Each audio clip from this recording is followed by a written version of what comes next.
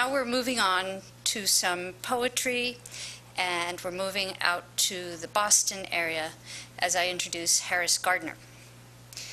Harris uh, was the co founder with Doug Holder of Breaking Bagels with Bards, uh, which I have had the pleasure um, to experience uh, on one occasion, uh, and it happens out in Boston uh, with a weekly poetry community of um, talking about poetry over bagels. He is the co founder of Tapestry of Voices with Lainie Senechal and I believe uh, Tapestry of Voices was very busy last weekend for National Poetry Month with the Boston Festival of Poetry over at the Boston Library, with a great big lineup there of many talented local poets.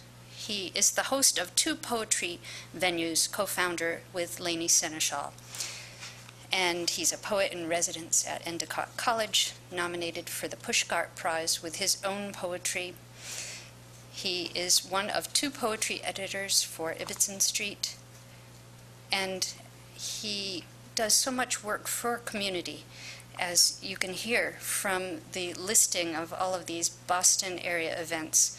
Uh, and Harris is also a talented writer, and he has had his poetry published in a number of publications and journals. A few include the Harvard Review, Midstream, Cool Plums, Rosebud, Fulcrum, and he has three collections of poetry as well, and I believe that there are some on the table this morning.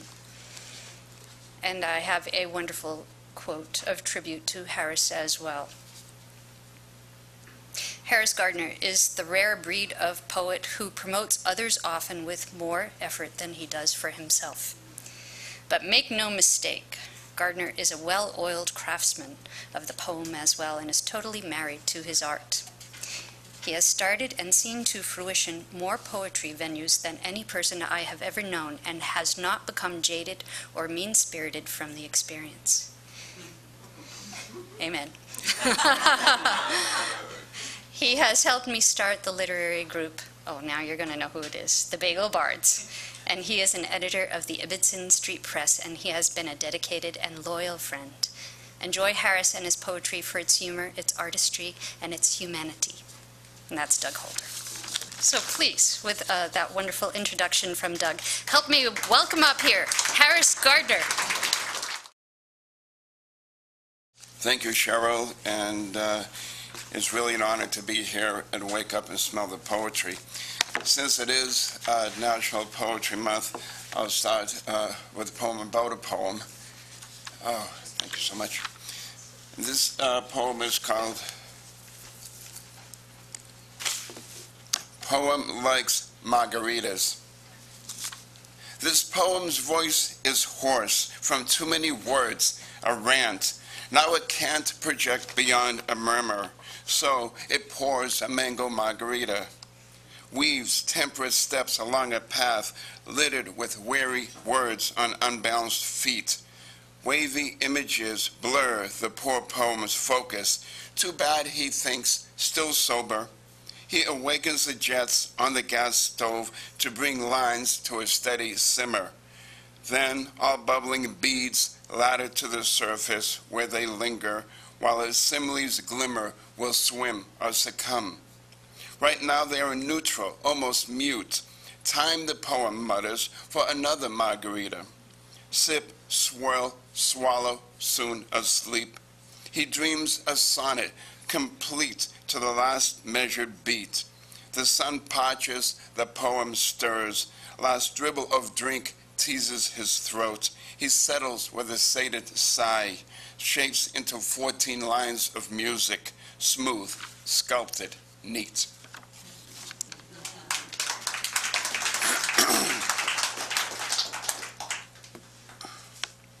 um, this one is from a forthcoming full manuscript. No, forthcoming is misleading. It's uh, almost ready. Uh, this one is called A Chip Off the Old Tooth. Beyond the mirror, I see life and the rainbow's end. In the looking glass, I view an omen, a chipped tooth. The ageless one marks with a dentureless grin Bit by bit, I disappear. Where is this going? To the dentist, I hope.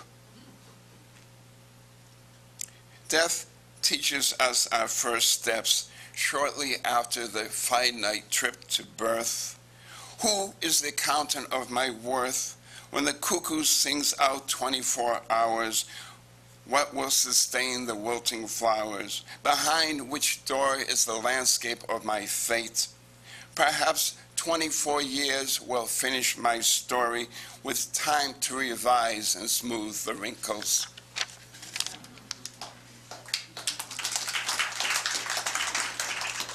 This one is called A Phony Poem. you'll probably understand the pun. Out of town, out of state, out of my mind, unfettered in space, walls a tight squeeze, a cool breeze blows past as I bounce among stars. Trampolines and boomerangs, wayward thoughts stampede, words in need seek a pen. This is a record of a recording of a recording of my voice. Please feel free to leave a message or not. I haven't got a wisp of a clue when I'll get back to you. okay, what I want to do is uh, do a simple poem from Among Us, which is published by Savina Bava Press. And I'm going to, the title poem is very short. It's called Among Us. The breeze stretches pliant forms, kinetic art, brushstroke clouds. There, profiles and near bas relief. Here, a giant in repose. And there, so close you can almost reach up to pluck a feather, a perfect pair of sculpted wings, a flaming figure in the middle, an archangel over Boston. Senses soar toward the sun when rays sear, sear through languid clouds, revealing noble haloed heads. Perhaps when we look for them, we can see angels everywhere. Be careful who you tell. Um, and this one is from Lest They Become, uh, published by Ibbotson Street Press. And this is called uh, I'm a Jew, and it's for Daniel Pearl, the journalist who was assassinated by the uh, Taliban. The God of Abraham must have been only half awake to light the fire of another martyred star. On the video, he said, I am a Jew. God of the wilderness, where are you? Jeremiah may have led the tribal remnants to the unsullied Emerald Isle. Perhaps the native souls on these usurped shores were heirs of the diaspora. The pipes, the pipes of Pan are calling, uproot the panic and pandemonium. Countless swirling torches copper the midnight sky. They bear witness to the war that scorches old cities and virgin trees. Shout alarms to the biblical God who slumbers. All is well with creation only in your dreams. Share the feathered pipes of peace. Images of hope float in the smoke. Will they become mourned ashes on the wind? Okay, changing the tone a little bit. This is called Bombs Away. Say kisses a bomb, the wobbly world. Masses dance in the falling, fallout of falling petals. Nuclear warheads have a falling out, can't agree on a plan to counterattack. They unfurl a white flag that boasts a pair of pursed lips. Uncoupled missiles touch head to head. They lack the power of a deluge of flowers. Throngs crown the silos with wreaths and roses. The bombs stand mute in disarray. Their pink slips are en route to the ticker tape parade. The blast of one billion blossoms diffuses brute strength. Touch its tops, tangos in streets, creative ways to compete. My smooches are softer than yours, some say. Our sugar is sweeter, others reply. Saccharine songs muscle along.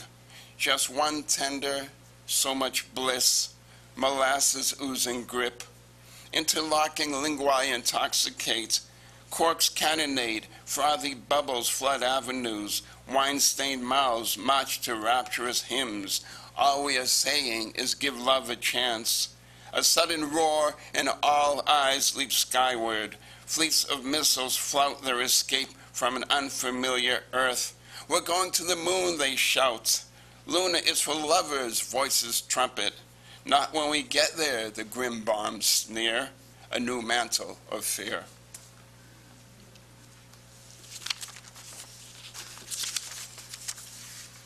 Okay, two last poems.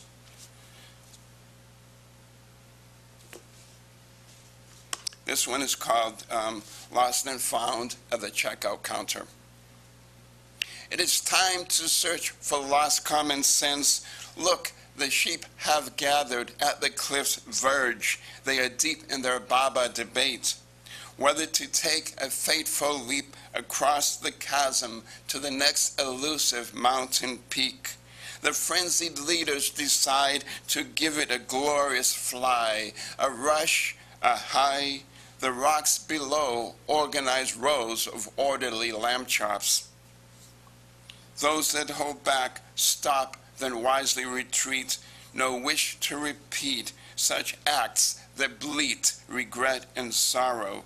Signs of intelligent life begin to emerge. And my last one, changing the tone completely because it's not, it is spring, but doesn't quite feel that way, but still a, a short spring poem, is called First seen in the Garden, S-E-N-E. Facets of dew sparkle and petals barely awake in pre-dawn gardens. A flirtatious breeze teases blossoms. It reaches deep into the heart of flowers, lifts out pollen, and spreads it over beds that bob in delight. River of light flows as the sun crashes through night's arcane curtain. The loupe inspects the rose. Diamonds reflect deposited gold. The sun blesses round bowed heads wants nothing more than to repose in beckoning green arms. Thank you.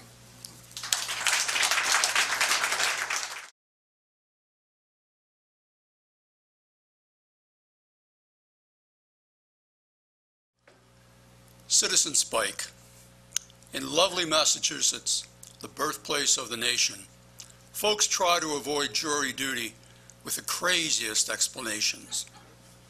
So, when a jury summons came in the mail for Mr. Spike Califat, Spike's mistress phoned the district court to say that Spike was her pet cat. The court officer laughed loudly and said he had heard that one before. He said Spike had better be in court, even if he was at death's door. Mrs. Califat drove Spike to court after feeding him and brushing his coat, where Spike was chosen for a jury and missed being foreman by one vote. The other jurors loved Spike, saying he was a cool cat. He even passed muster with the judge, who was too bleary-eyed to smell a rat. Luckily, the jury heard easy cases, while Spike purred occasionally. The day's work was soon over as Spike fulfilled his civic duty. For his work as a juror, Spike received a certificate, which his mistress hung on a wall just above his Kibbles and bits. So, if a jury, if a call to jury duty puts you in a snit, just think, if Spike could do it, why should you throw a hissy fit? Thank you very much.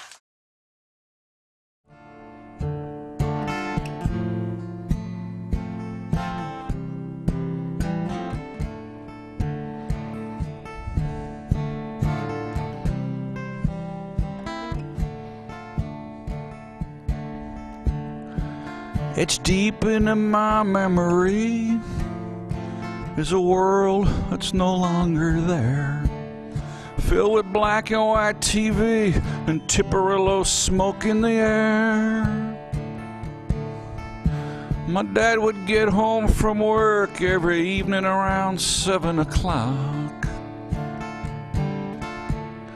I'd be standing by the window waiting for him to turn onto our block. Then he'd pull up to our house just past the traffic light at Second and Main. And he'd give me a wave from the end of the drive in our Chevy Biscayne.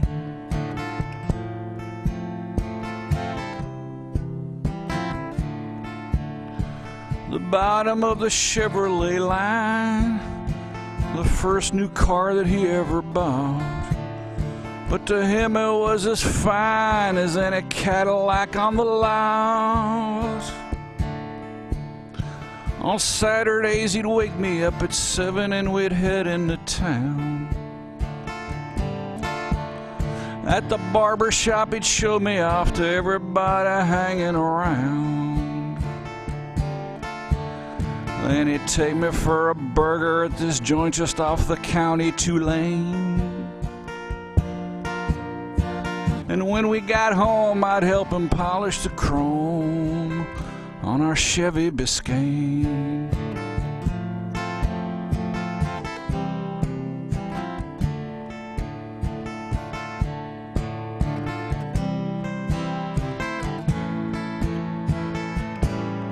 But as I started getting older, seems I saw my father less. He and mom were always fighting. At some point, he'd had enough, I guess. Heard the revving of the engine very late one winter's night. I looked out my bedroom window, watched those taillights fade from sight.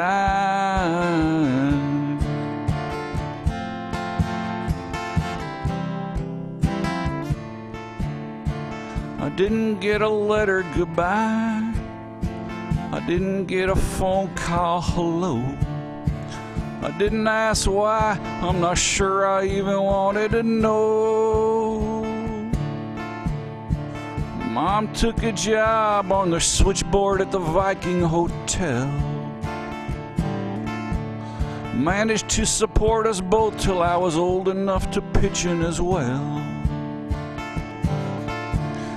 Still, in all that time, I never heard her speak about my father again. But in her bottom dresser drawer, there was a picture I saw of him in our Chevy Biscayne.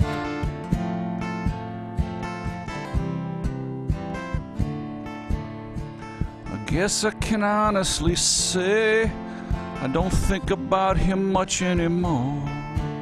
Someone said he passed away from a heart attack in 74.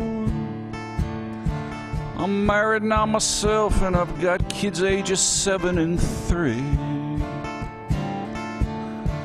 On Saturdays I take them into town in our new SUV. But ain't it funny how a memory can keep on rattling around in your brain? And every now and then I feel like I'm behind the wheel of our Chevy Biscayne.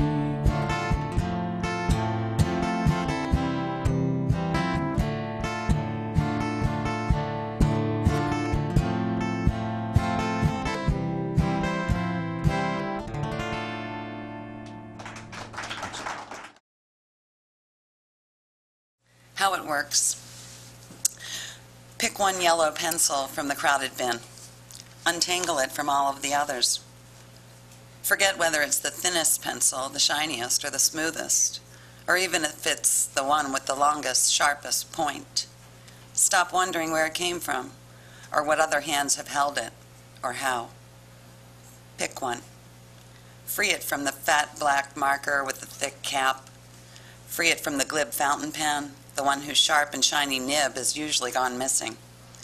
Free it from flashy neon highlighters and silvery paper clips, from bookmarks with tattered edges, and last year's pocket calendars, the torn matchbooks with numbers scrawled inside, fading. Free it from the shrinking blue ballpoints with their nervously chewed ends. Pick at this one yellow pencil and hold it. Close your eyes. Pretend it's the only pencil you've ever held. Forget the others you could have chosen the red, the brown, the one with the glittery gold lettered logo. Slide a fingertip along its slick leaden point. Roll the beveled ridges of it back and forth slowly between your palms. Notice the wood warming. Take it firmly in your fingers, press point to page, and then bear down hard. Let it make its mark as it presses down deeper. And then whatever appears, whatever symbol, whatever mark, linger along the long, hard lines of it and those that are not. Trace its curves with your eyes, with your fingertips. Lean over, press your mouth down onto the engraved page. Lick your tongue along its grooves and indents. Stop wondering if any of it's perfect. Stop worrying if the smudged pink nub of an eraser will be able to truly erase. Hold this one yellow pencil and the dark, deep marks it makes, because this is how it works, what it was meant to do, and after all, this is exactly why you wanted it, because it's the one that you've chosen. Or maybe it's the one that's chosen you. Or maybe just because it's the one that's here, the one real thing you're holding in the palm of your hand. Beneath you, the road is smoke, the bridges thunder, and everything is left far behind. Russia, where are you flying to? And this is for my son, and it's the third poem of the set, and it's called Being Watched Outside the Winter Palace. Sitting cross legged on the ground by the bus, I decide I may as well barter too.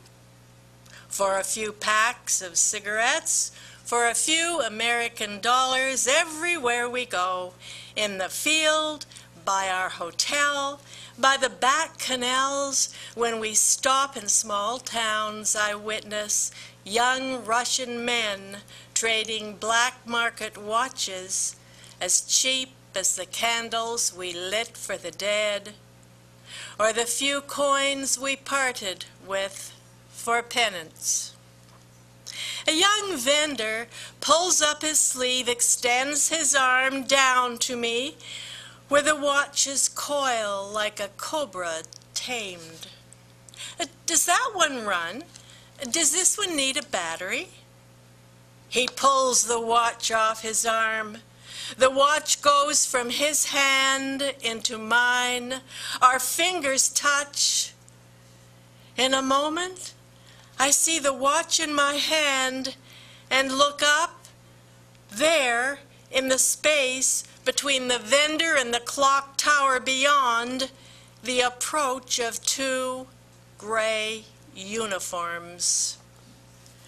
As they haul him a few yards away, the other vendors scatter into the crowds of Leningrad Square. The Billy Club snaps down and down and down on the young man's skull. The noise ricochets like shots off the portals of cathedrals. Half conscious, he keeps on fighting while my own body seems to be flying away from me. I think that boy will never fall, and I want him to fall, to fall quickly. Through an eternity he falls, he falls the way a leaf does. Finally, his body touches the pavement as softly as a kiss touches the closed mouth of an indifferent lover. His arms and legs flung out scrawl an X on the stones. Stomach up, he is all exposed to the sky, the passers-by, and a young policeman who nods, half smiles over at us, over a silence into which any thick-toothed boot might stomp.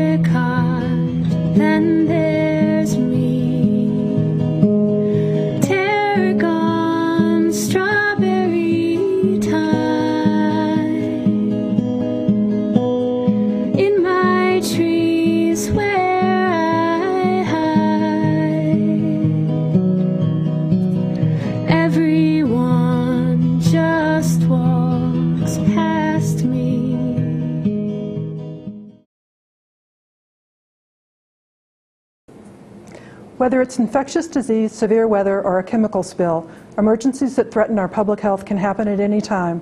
After the events of 9 11, the federal government established the Medical Reserve Corps to respond to emergencies. Today in the Commonwealth, 45 Corps units recruit and train both medical and non medical volunteers. In addition, the Department of Public Health's MSAR program, or Massachusetts System for Advanced Registration, credentials and deploys healthcare professionals to respond in such emergencies. Now a new effort is underway to enhance emergency response by aligning the activities of both groups. Mass Response is designed to facilitate emergency medical response and promote local partnerships in planning and assistance. And you, health professionals and concerned citizens alike, can be part of this important effort. For more information on Mass Response and how to get involved, visit maresponse.org.